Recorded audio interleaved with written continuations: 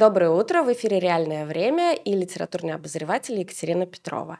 А, сегодня у нас наконец-то гость будет не онлайн, а в студии, и это Наталья Лишкина, автор книги а, «Улан Далай». Наталья, добрый день. Здравствуйте. Спасибо, Екатерина, что пригласили.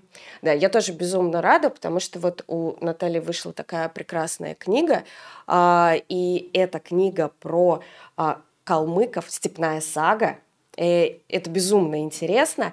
И сегодня мы будем как раз обсуждать э, эту книгу, э, поговорим с Натальей о том, как она была написана, э, про главных героев, про символику, там очень много символики, и, в принципе, про э, историю и про идентичность. Ну, давайте начнем э, с самого такого основного, потому что, я думаю, не все прочитали, не все знают, э, о чем этот роман? Ну, э, этот роман о трех поколениях донских казаков-калмыков. Э, когда-то часть калмыков служила в казачьих войсках э, начиная со времен Петра I. Роман же охватывает период с 1880-х по 1957 год. И он повествует о трех поколениях одной семьи, о том, как Э, в течение вот этого э, периода, когда несколько раз э, менялась ситуация для калмыков, и они прошли через очень-очень серьезные испытания, каким образом выживал род. В целом, если охарактеризовать кратко роман, то это а, Тихий Дон, поднятая целина, они сражались за родину и архипелаг ГУЛАГ под одной обложкой э, с точки зрения буддиста-кочевника. Угу. А вот название Улан-Далай оно э, несет в себе тоже мифологию э, калмыков. Что это, что это вообще такое, как это переводится и какое значение для э, калмыков э, вот эта вот э, символика? Это? А, улан значит красный. Вы знаете, есть Улан-Батор, Улан-Удэ, это значит красный. Красный Удэ или красный богатырь.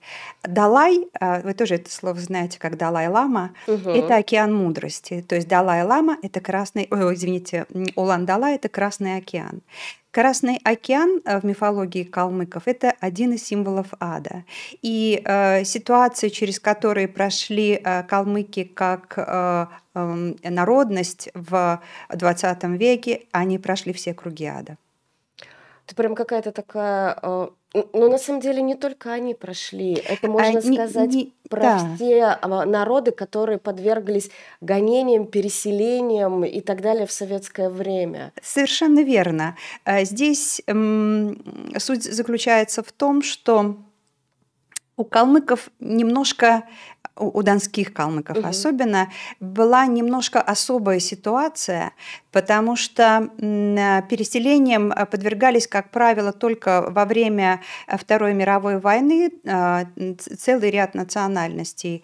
А, а калмы, у калмыков была еще одна трагедия, новороссийская трагедия, когда всех донских калмыков вынудили идти в отступ вместе с Белой армией, угу. бросили обоз, и э, Красная армия посекла этот обоз, и в результате на Дон вернулось только две трети э, тех людей, которые ушли э, к морю так туда и не дойдя.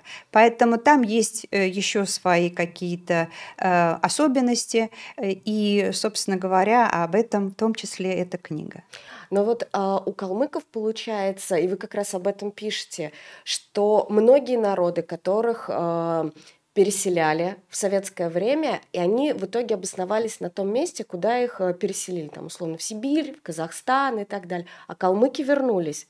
Да, э, ну, э, во-первых, им позволили вернуться. Скажем, немцы по Волжье, может быть, и хотели, но угу. они понимали, что их никогда не вернут.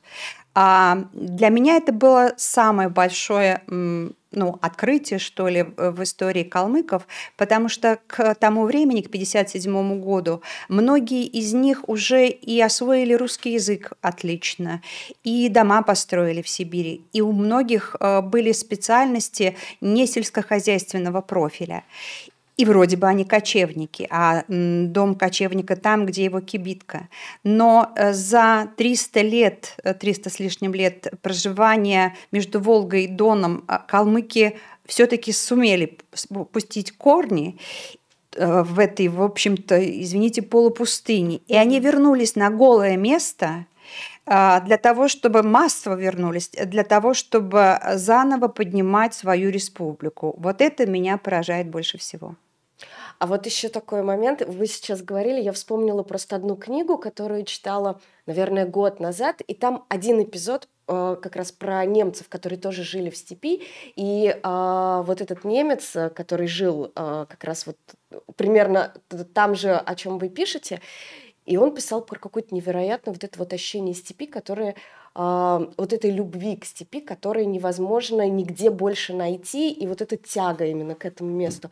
У калмыков, видимо, тоже что-то такое есть, вот что вот... Несомненно, несомненно. Я была поражена, поскольку, поскольку сама я с Волги, где уже довольно много э, растительности, я была поражена, что кто-то может бояться леса что для калмыка лучше, чем плоская степь, угу. ничего не бывает. И даже когда их переселили такое благодать, часть очень небольшую а, попала туда, благодатное место, как а, Алма-Ата, вернее, предгорье и а, окрестности Алма-Аты, на них давили горы.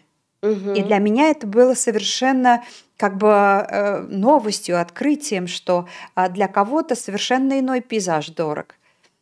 Вы, кстати, об этом тоже в книге у вас написано, когда один из героев как раз попадает а,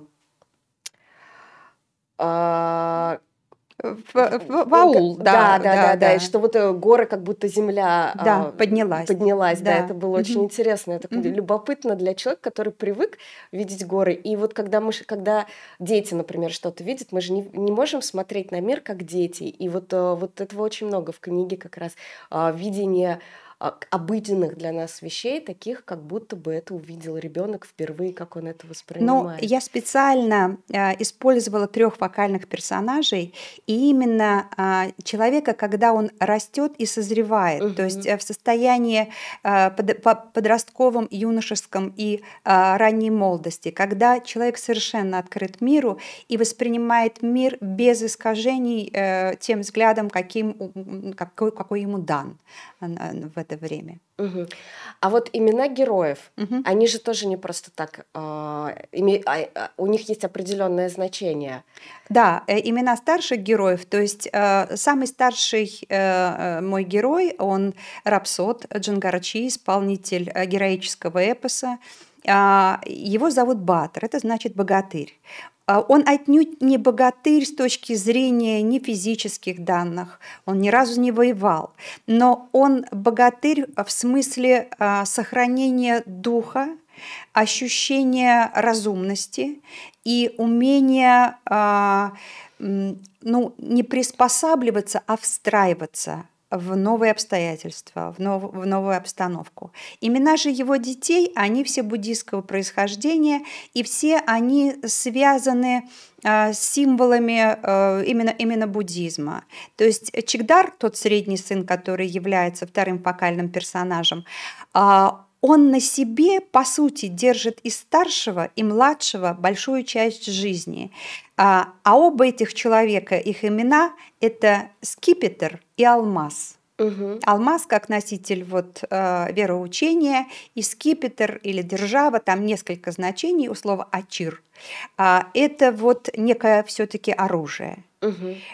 И вот эта серединная часть, держащий ваджру, чекдар, то есть человек, который собирает это все, каким бы эм, сложным э, его образ не был, но вот у него такая миссия. Здорово. А это достаточно большой труд. А, начинается книга в 1884 году. Последние события происходят а, в 1957 году. Там огромное количество событий, которые претерпела наша страна, чего только не было, и а, вам нужно было все это собрать, при этом не просто исторические события, происходящие, так скажем, в рамках сначала Российской империи, потом а, Советского Союза, а еще и в рамках а, народа. Как вы работали с историческими документами? А, что вам помогало? Кто вам помогал? То есть как вот, вы этот материал перерабатывали? Работа с фактурой? Ну, начнем с того, что я роман исторический писать не собиралась. Никогда ни за что и не думала об этом. Спасибо э, моему литературному наставнику Ольге Александровне Славниковой, которая просто подтолкнула меня, э, сказала, Наташа, вы сидите на таком богатом материале, встаньте немедленно и употребите его в дело. Я долго сопротивлялась, но тут пришел ковид, делать было нечего, а я была на даче, а там большая, э, большое количество литературы о калмыках, потому что мой муж калмык, а мой свекор рассказывал мне историю калмыков 30 лет. А, и оставил книгу воспоминаний, которую я же и редактировала. И, собственно, эта книга, она явилась той конвой, на котором я вышивала тот сложно сочиненный орнамент, а, вот историю как бы калмыцкого народа, как она есть вот на протяжении этого исторического периода. Но, конечно, без опоры на носитель идентичности я не являюсь калмычкой, почему я, собственно, а, изначально отказывалась писать этот роман. Э, было очень сложно. По счастью, у моего мужа есть троюродный брат, который одновременно и историк, и музыкант, потому что там большая музыкальная часть, и лама, э, буддийский священник, угу. причем лама войска Донского. И, э, собственно говоря, он, у него был такой большой интерес к тексту, что он э, еженедельно вычитывал все, что выходило из, из-под моих пальцев. Но мне этого было мало, то есть я прочитала, по крайней мере, два десятка диссертаций на исторические и филологические темы. Калмыки очень много чего исследовали о своем народе. А, я прочитала э, большое количество документов, я прочитала большое количество воспоминаний о периоде депортации. И, э, собственно говоря, мне помогло то, что э, Ростовский архив оцифровал огромное количество исторических документов. И Калмыцкий архив дал мне те ключевые необходимые документы, без которых эта книга не состоялась бы.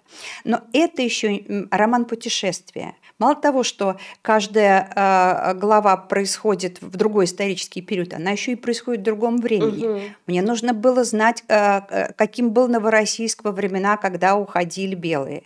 Мне нужно было знать, потому что мой герой отправился в Монголию с секретной миссией. Да, да, да. Мне нужно было знать, где, собственно, точно находилось логово Джала мамы. Это было непросто. И сколько дней Тетулю Сутая. И как вы с этим справились? А у меня везде были помощники. То есть мой э, друг Андрей Федорович, который великий путешественник, он помог мне, и он путешествовал по Монголии в том числе, он нам, помог мне найти то место на карте Черной Гоби, где когда-то находился вот этот город Джаламы.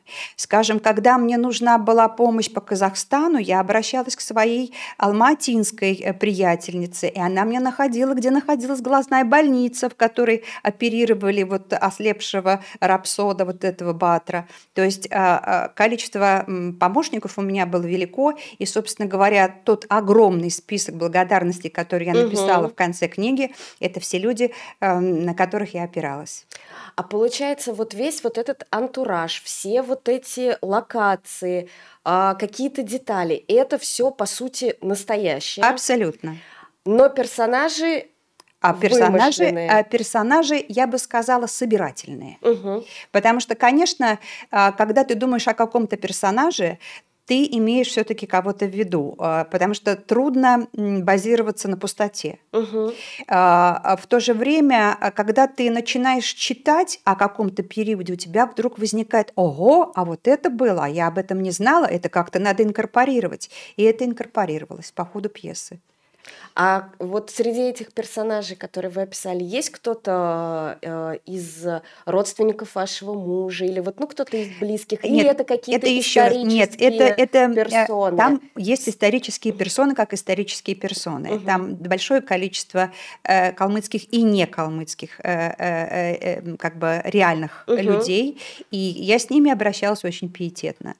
А что касается все-таки вымышленных героев, угу. то это точно собирательные образы. Точно собирательные У образы. всех понемножку. У всех понемножку, да. Угу. Угу. А еще и в вашей книге заметила э, очень интересные такие говоры или диалекты, я даже не знаю, как это правильно сказать. То есть употреблена, во-первых, та речь, которая свойственна определенному периоду, а во-вторых, э, определенным людям – вы понимаете, да, о чем да, я да, говорю? Да, да. да. Вот. А, угу. как вы это собирали, как вы находили, как именно говорили и кто и кто как говорил в определенный период. Но вы знаете, поскольку, поскольку я все-таки филолог, угу. мало того, я изучала не только западные языки, такие как английский, немецкий, французский, но еще и японский и индонезийский в свое время. Поэтому для меня а, характерность произнесения представителем того или той или иной э, национальности русского текста, он а, понятен я знаю правила, по которым человек, э, скажем, немец, будет говорить по-русски, по тем правилам, по которым будет говорить по-русски казах. Я проверяла. Я все это, ну, немецкий я знаю сама, а там э, кусочек, когда казах говорит на русском, я, конечно, сверялась с казахами. Когда калмык, я сверялась с калмыками. Вот. А что касается, там большой пласт идет донского словаря, Э, казачьего словаря. Я его просто прочитала от корки до корки и выписала все фразы и выражения, которые мне пригодятся в книге. И использовала это. А вот для вас о чем эта книга? А для меня эта книга прежде всего о семье, о выживании рода. Но когда я писала, я даже не думала об этом. Но когда я дописывала, я поняла, э, что книга получилась очень своевременная, потому что это книга о том, как выживать в тяжелые времена, а, на что опираться, когда, казалось бы, опоры рушатся, как эм, не сойти с ума, а, глядя на вот ту разруху и смерть, а, которые э, наблюдают э, э, герои. И, собственно говоря, в конечном итоге, как найти в себе силы и отказаться от мести – когда тебе в руки дают орудие мести. А вот э, для меня это прежде всего роман об этом. Это такой, получается, очень терапевтичная книга. Я, я надеюсь, я надеюсь на это, что да, что это наднациональный роман. Почему, собственно, я за эту тему взялась? Потому что э, независимо от того, э, о, о каких конкретно вещах эта книга, это все равно книга о семье. И это книга о традиционной семье, а, которая несколько шире, чем та нуклеарная семья, в которой мы в основном сейчас живем. И, а, и как бы из своего опыта я понимаю, насколько это великий ресурс, если им правильно пользоваться.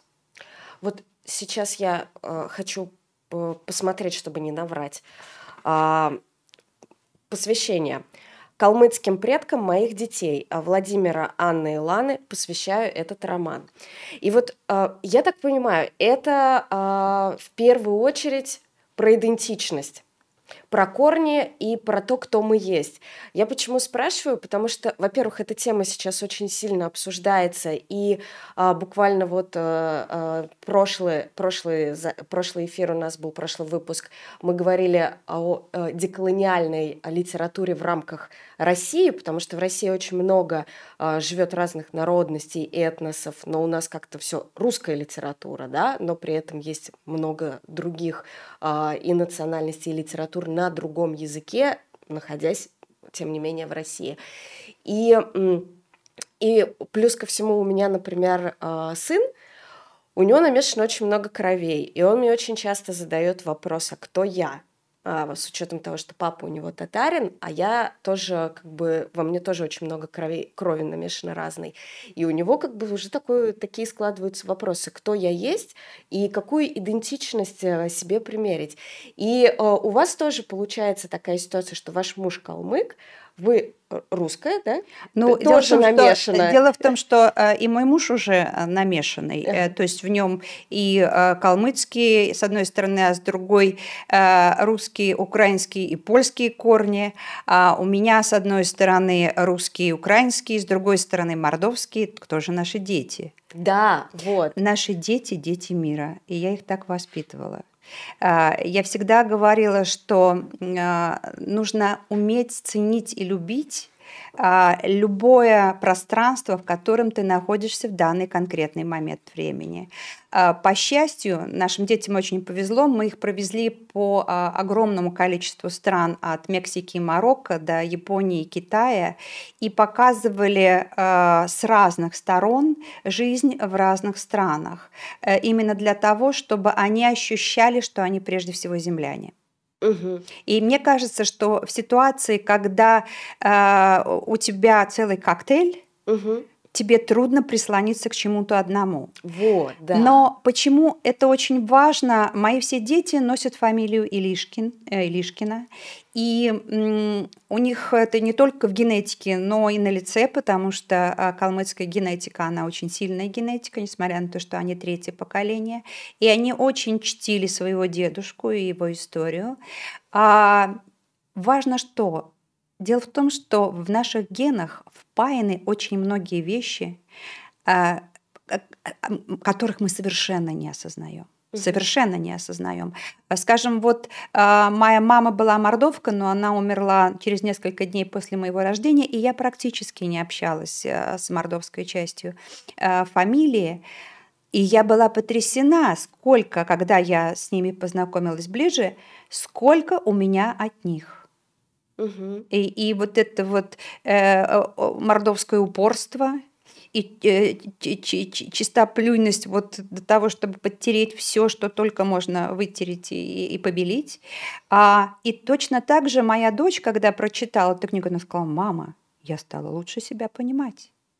То есть э, вещи, которые неосознанно в нас живут, мы должны и, э, иметь их в виду и э, учитывать когда мы что-то делаем или когда принимаем решение, поэтому это очень важно. Ну вот я, как, как мне кажется, да, то есть у нас же тоже получается такой коктейль, а, и когда у меня сын спрашивает, вот кто я, я ему говорю, что ты знаешь, что у, у тебя есть, например, вот там, а, там татарские корни э, с, с арабскими при этом.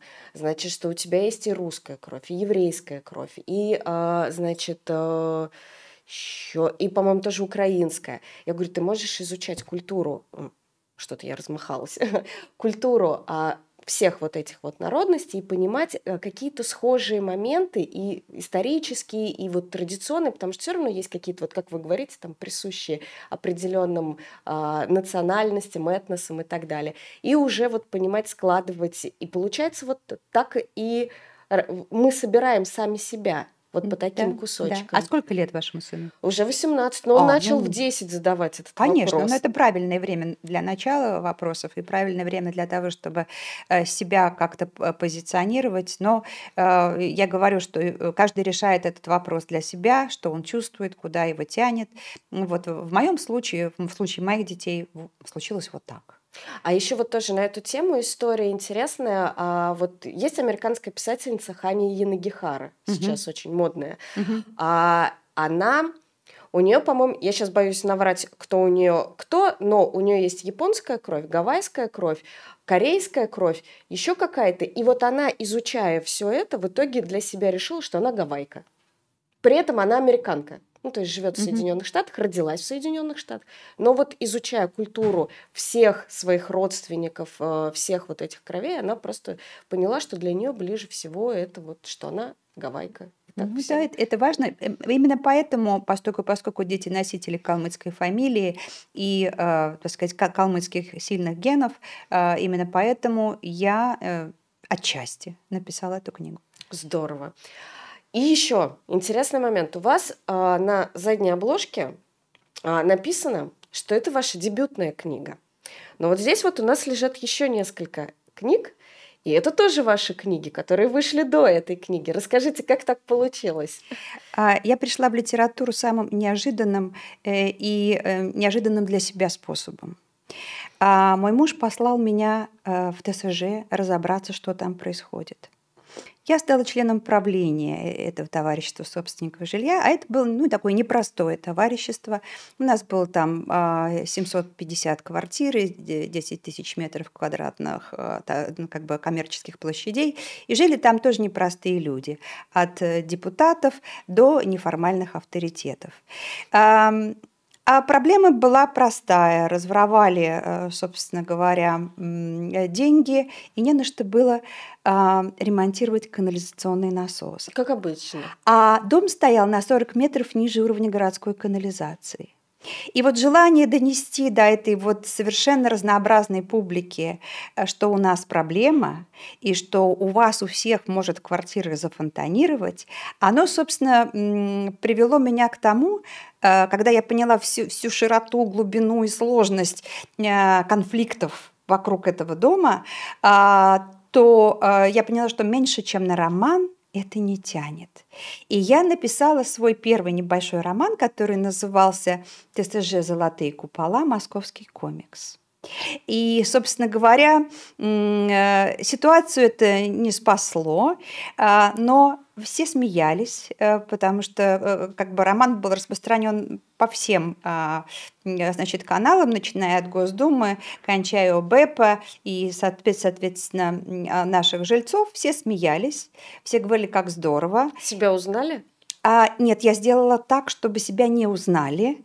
А, я специально вела там несколько совершенно фантастических персонажей, например, Вещуню Пелагею или там а, а, туркменского шпиона а, Козюль Кулиева. Ну, чтобы, если претензии были, то я сказала, ну какие претензии, это же полный бред. Угу. И взяла псевдоним Ната Хаммер. Э, Хаммер – это молоток, а если брать огласовку, то это Мата Хари, как бы некий шпион, который, угу. в общем, эм, э, узнает некую информацию. Ну и пошло-поехало, ведь, ведь, знаете, такой писательский вирус, он же такой заразный. Написал одно, тянет на другое, с другого на третье. А, и, наконец, я дошла до четвертой книги, когда уже я э, выдохнула всю, всю эту э, сатиру из себя – Э, и перешла как-то э, больше к социальной драме. Мои девочки на тот момент, двойняшки, они похожие, как, так сказать, небо и земля. А, они заканчивали 11 э, класс, и, собственно говоря, проблемы одной из них э, я отразила э, в этой книге, той, которая как облако, и, собственно говоря, собрать которую было очень трудно. И в этой книге у меня девочка пишет дневник, родители разговаривают друг с другом, а старая учительница разговаривает дома с котом потому что ей разговаривать больше не с кем. А, все было хорошо, но когда я думала про конец этого романа, э, я когда подумала, что будет с учительницей, я вдруг поняла, что она умрет. Угу. Я заплакала. Я даже я не склонна к слезам, и вдруг я заплакала. Я написала, э, написала, как переживает эта девочка, как переживают это родители, как это сплачивает семью. Э, все хорошо. У меня там тоже был э, прототип, но прототип себя не узнал. Э, и спросил, а это не та учительница русского языка, которая... Я говорю, да нет, нет, что вы, что вы, нет, нет, нет, это собирательный образ. И вдруг этот прототип через несколько месяцев другим образом, но скоропостижно умирает. И мне становится дурно. Потому что э, когда твои слова вдруг для кого-то превращаются в трагедию, угу. это страшно. И тогда я остановилась, я несколько лет не писала. А, я пошла во все литературные школы изучать правила дорожного движения в литературе. А затем я написала еще одну, вот, собственно говоря, последнюю книгу под псевдонимом. Я уже ее хотела писать э, под реальной фамилией. Она посвящена э, наше, поколению наших родителей, а, посвящение недолюбленным детям Великой Отечественной, о том, как э, сегодня они вынуждены вступать в сетевой мир, потому угу. что без этого они жить уже не могут. А, Ее оригинальное название «Бабушка в сети», к сожалению, Эксмо, а, когда взяла эту книгу для печати, она сказала, что не-не-не, нет, будет у нас шанс на счастье. А, я заказала обложку для себя и дарю ее своим друзьям в обложке «Бабушка в сети». Вот. А, но, тем не менее, книга вышла. А, она, кстати, очень популярна. Сейчас э, э, у нас есть Центр московского долголетия, это совершенно фантастические заведения, всем бы такое, по всей бы стране. И у, нас, у нас бы как бы старшее поколение жило долго и счастливо, то, что сделали в Москве для людей, э, так сказать, старшего возраста. Она очень популярна. Я провожу очень много презентаций угу. и рассказов вот с этой книгой. Ну и, собственно говоря, закончив все это, все-таки я взялась за исторический роман. Уже под своим именем? Уже под своим. Ну, э, невозможно писать калмыцкий роман не под калмыцкой фамилией. Кто бы мне поверил? А сейчас вы готовите следующую книгу тоже под своим, а, Да. под своим именем. Мгм. О чем она будет? Ну, я пока еще ее не, да, действительно готовлю, то есть я занимаюсь подготовительной работой. После того, как а, мой корейский э, зять прочитал э, Улан Далай, он сказал, слушай, прям такое... это- да, да, у нас очень международная семья, Мгм. очень международная. А, он сказал, слушай, ну советских корейцев-то больше, чем калмыков, а напиши-ка ты про корейцев. И когда я копнула и поняла, что там, о, да там такое можно написать, вот я сейчас исследую эту тему. Тоже собираете фактуру, да? Собираю фактуру, да. Да, это будет сложнее. Возможно, мне придется выучить корейский язык, Э, потому что а, многие материалы, они публиковались на Дальнем Востоке на корейском языке в 20-30-е годы. Э, Ну, я надеюсь, что это мне не будет так сложно с осознанием японского языка. Они достаточно э, близки друг к другу, но в какой-то степени А в придется. Корею поедете? Я думаю, да, в Южную, но может быть и в Северную. Ну, в Северную, кстати, пускают, просто Да. показывают фасад. Да, показывает фасад, а мне, э, мне нужно обязательно попасть э, к корейским шаманам. Дело в том, что э, сознание корейцев, оно до сих пор шаманское сознание. И только в одной Южной Корее зарегистрировано 300 тысяч шаманов. 300 тысяч. А, И э, как бы я думаю, что моя героиня, она будет, это будет Женщина. женщина, и она будет человек с шаманским сознанием. Круто. Ну, тогда будем ждать. А сколько вы планируете? Тоже два года писать? Ну Или да, нет, быстрее не получится. получится, Не да? получится, потому что это, этот материал должен осесть, э, и потом мне нужно найти проводников, потому что писать о, о о какой-либо национальности, не имея провод- проводников, которые тебе верят, доверяют и готовы сотрудничать, невозможно. Хорошо, будем ждать. Спасибо большое. Спасибо вам большое. Спасибо. А, ну и на этом наш сегодняшний выпуск заканчивается. Я напоминаю, что я буду счастлива, если вы поставите лайк, подпишитесь на канал, если еще этого не сделали, и напишите что-нибудь приятное в комментариях. А также напоминаю, что каждую среду в 10 утра выходят наши выпуски а, на всех площадках, видеоплощадках и по выходным обзоры на сайте реального времени. Всем спасибо большое, всем пока-пока. Спасибо большое.